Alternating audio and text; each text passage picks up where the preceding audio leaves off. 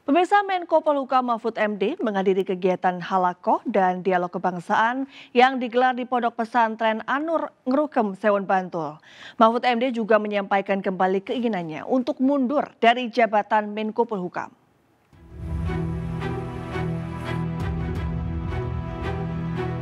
Menko Polhukam Mahfud MD menghadiri acara halakoh dan dialog kebangsaan di Pondok Pesantren Anur Ngerukem, Sewon, Bantul pada Rabu siang. Kedatangan Mahfud MD yang juga cawapres nomor urut 3 ini merupakan kegiatan rutin sebagai Menko Polhukam dan jaga stabilitas politik dan penegakan konstitusi.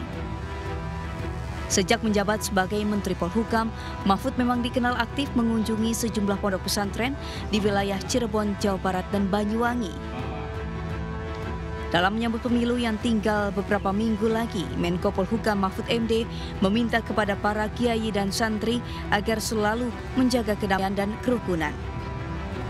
Mahfud juga menyampaikan kembali keinginannya untuk mundur dari jabatan Menko Polhukam Ya enggak apa-apa. Kalau presiden mengatakan begitu silakan aja. Anda mau ikut atau enggak, ikut atau enggak. Tapi kalau menurut aturannya seperti apa, Prof? Aturannya, Prof. gimana ketat? Nanti tanya ke ke anu ke, ke apa namanya Biro Hukum Sekretaris Negara aja. Prof, presiden juga mempersilahkan untuk untuk mengundurkan diri, Prof. Jokowi juga menghargai keputusan Prof jika ingin mundur di dari kabinet tadi. Memang tugas presiden menghargai. Udah ada rencana Nah, untuk terus pertemuan rencana